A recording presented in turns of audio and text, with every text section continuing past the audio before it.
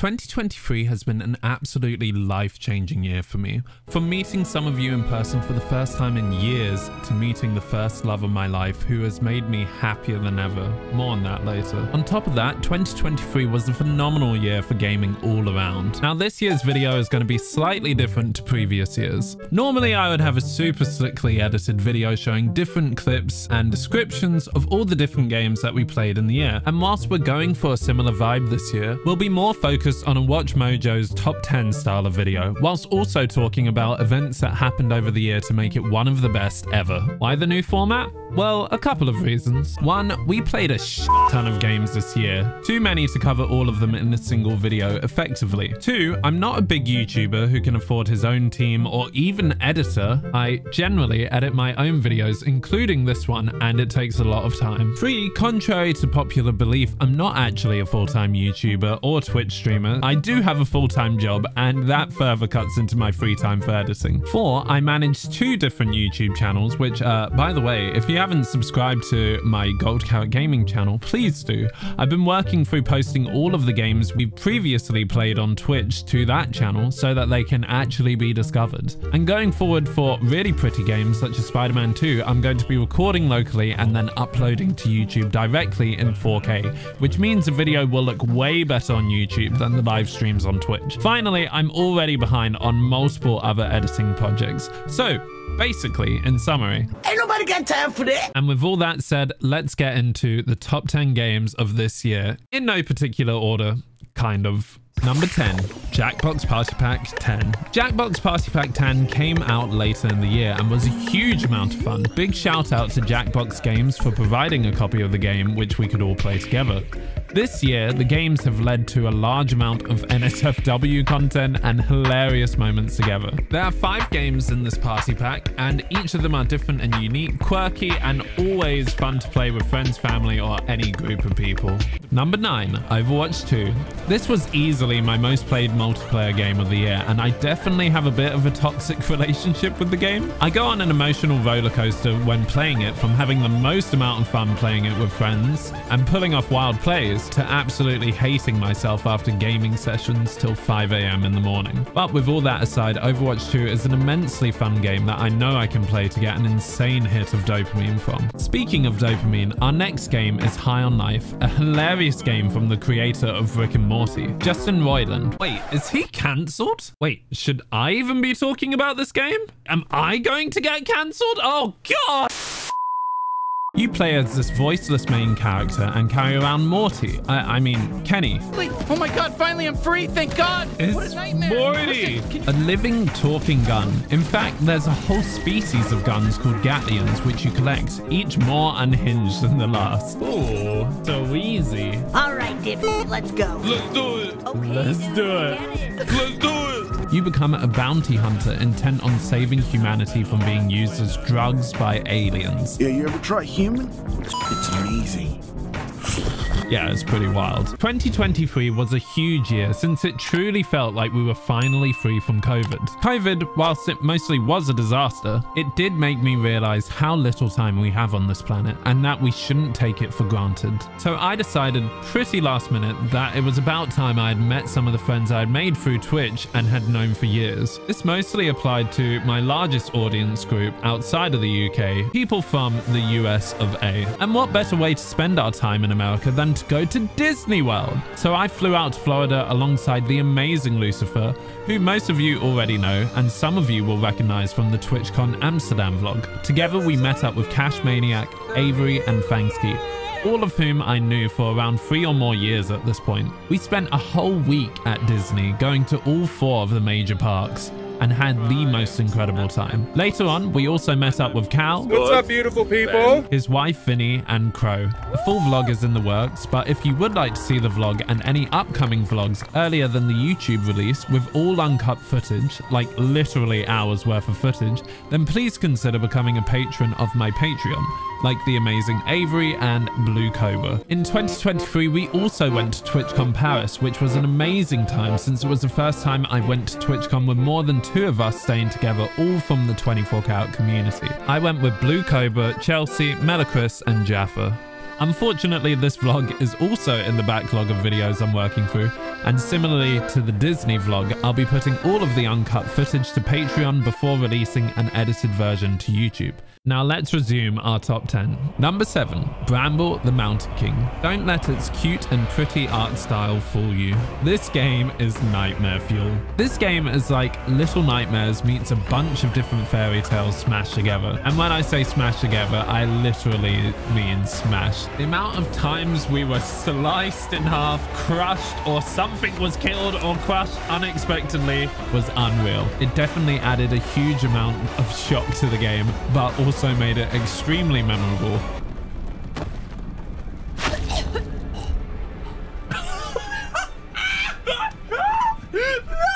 This game was a lot of fun and I can't wait to see what is next for the series. Number 6. Outer Wilds Echoes of the Eye. We return to the mysterious and captivating world of Outer Wilds, which was one of my favorite games in 2019. We played the expansion Echo of the Eyes, which continued this awesome streak by knocking it out of the park yet again with fantastic puzzle design and a story surrounded in mystery and awe. There's even some creepiness thrown in here and there as well.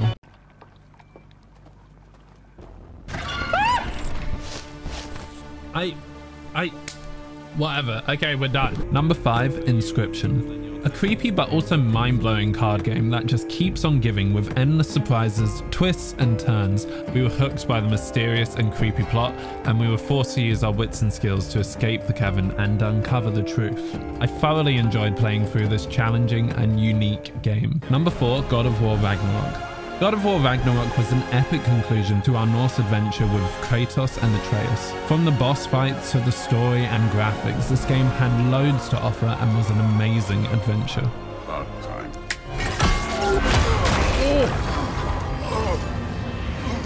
Now, before we get into the top three games I played in 2023, I'd like to clear up a couple of things. First of all, what happened to our 2022 highlight video? Well, as some of you may remember, at the end of 2021, I promised to stream for 1000 days every single day in a row.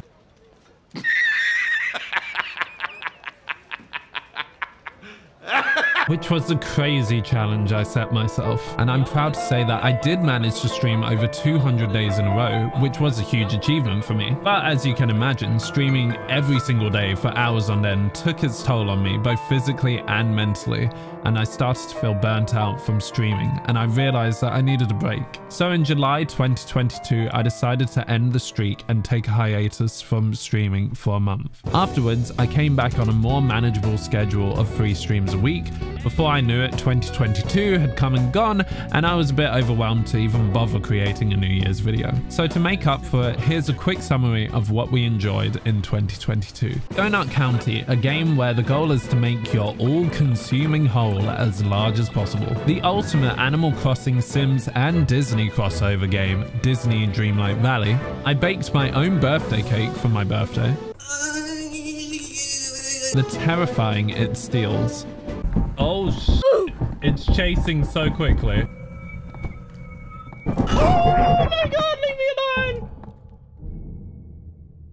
I hate this. The Walking Dead, which was extremely emotional, and I was lucky enough to be included on the front page of Twitch for Black History Month at the same time as this. A Plague Tale Requiem, an awesome sequel to the first game. Mortuary Assistant. Shut the fuck up! I'm trying to work! Stop! Huh? What? Death's Door, Superliminal, Power Wash Simulator, As Dusk Falls, which my cousin stars in. That is my freaking cousin, no. dude. The best cat game ever, Stray.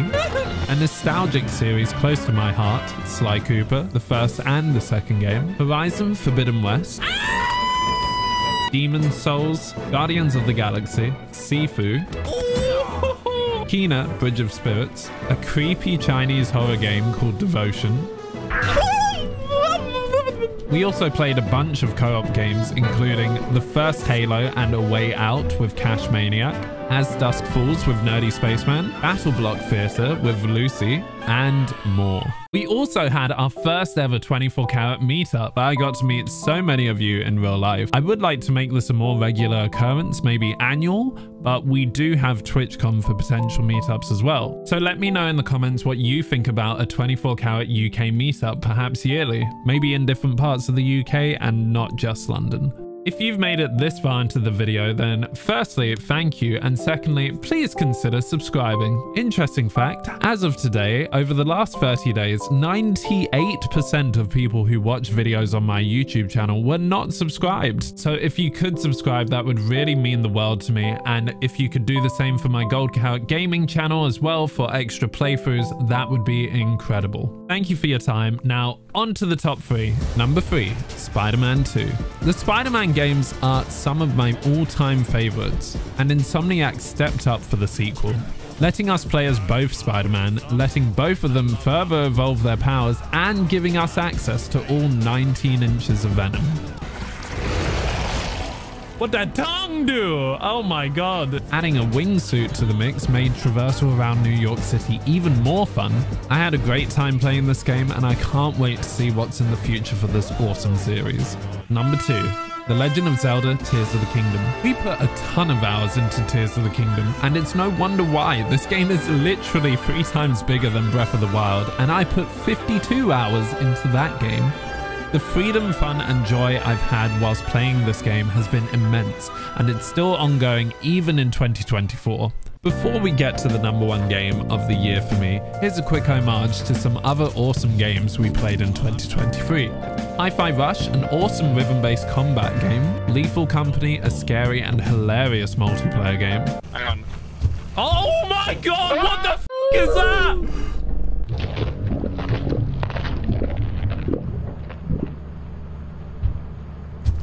Assassin's Creed Mirage, Planet of Lana, and Immortality, a super unique game where we were even raided by the main actress herself, Manon. And our game of the year is...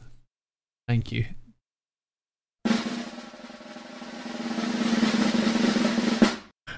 Kingdom Hearts 3!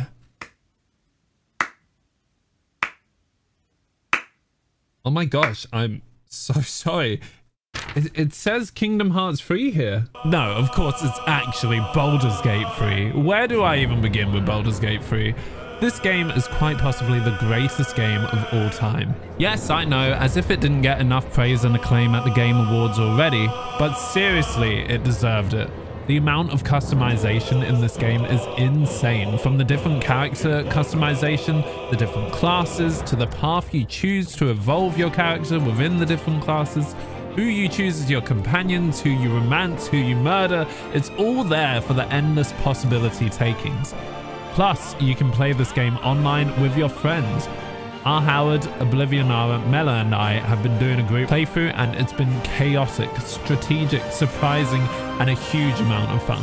Baldur's Gate 3 is insanely good and well deserving of Game of the Year 2023. So there we have it, the top 10 games of 2023. Looking forward to 2024, I plan on continuing to release more content out from the deep, dark, dead trenches of Twitch and getting it out onto YouTube. On top of this, I'll be continuing to post short form content to all of my socials. Speaking of, here's how the social stats be looking so far this year. So thank you to all of you who have liked, followed, subscribed, given me money, whatever you want to call it on any of the platforms. And if you haven't done it on every single one of these platforms, you're dead to me. Ha ha ha! Only kidding! Or am I? This year, I'll also be experimenting with posting playthrough highlights to my main channel, since other than the regular short form content I post, my main YouTube channel has become Deader Than The Last of Us 2 rip-off multiplayer game. I'm also going to try releasing full playthroughs to the main channel as a single video, which will be hella long, but will hopefully prevent notification spam and reduce my anxiety each time I post a new video. Finally, possibly even the reason some of you clicked on this video in the first place, let me talk to you about my first and hopefully last boyfriend, Simon. Simon and I met on Hinge. Yes, you online daters, it can actually work, just have patience and an open mind. We actually matched nearly two years ago, and I may or may not have accidentally ghosted him for a whole year before realizing I never actually messaged him back. Yeah, I know, but we don't talk about that. Anyways, one day as I was scrolling through my WhatsApp conversations, I noticed I never messaged him and decided to respond. Luckily, he accepted my response. The conversation kept going and we ended up video calling for 2 hours 15 minutes till 4 a.m.